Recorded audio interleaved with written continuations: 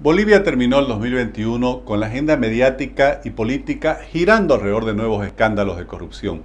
Este es un problema estructural que impide el desarrollo nacional, destruye la credibilidad en las instituciones y autoridades estatales y pervierte los valores sociales, enriqueciendo a quienes no se destacan por su trabajo, emprendimiento e inventiva.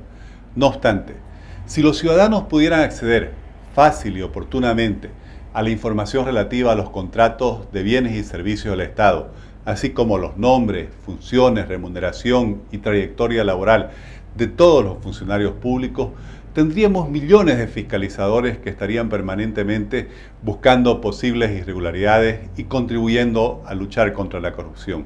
Los invito a leer mi artículo titulado Transparencia e Información Pública contra la Corrupción.